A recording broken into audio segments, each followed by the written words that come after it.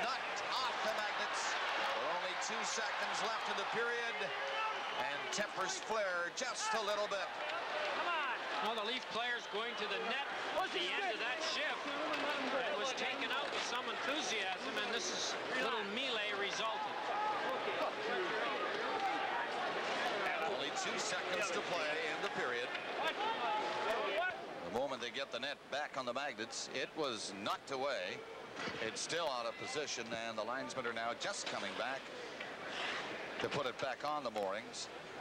And we'll play out the final two seconds of the period.